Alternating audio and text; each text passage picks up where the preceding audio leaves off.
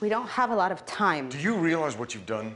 I do. You pulled the fire alarm. I did. That was a one-time thing, Liv, for extreme emergencies. I know. You can't ever use it again. The codes are already being rewritten. I know. You don't work in the White House anymore. You're not in the bubble anymore. I can't get the NSA to overlook you being issued a Providence key again. Not now. I understand. If there's an attack, terrorist, chemical, nuclear, I can't get you. You understand? You're on the outside. You're dead.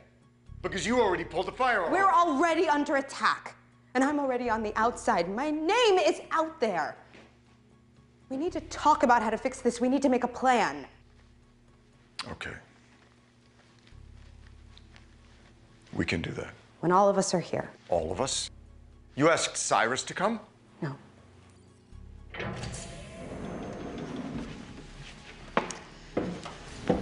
So, let's do this.